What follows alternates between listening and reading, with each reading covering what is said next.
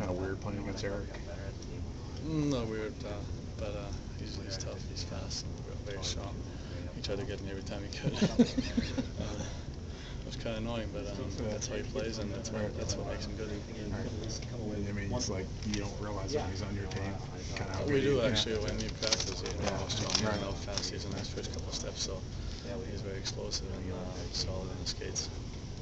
A lot of choppy ice out there tonight, it seemed like. I mean, a couple of times in the first period, I just tried to settle it down. I just tried to hold my skating, and I mean, uh, it was a couple tough couple of shifts at the beginning, but then at the end, I guess uh, we settled down, and um, I mean, we could have played better, but it happens. What has to change on your power play? Well, I mean, we have to get the shots to the net and uh, guys in front and uh, try to get the rebounds. That's the main thing. And uh, once you get shots the net, um, that creates chaos and you get lanes to pass the puck and then uh, score goals. But first, you got to start shooting.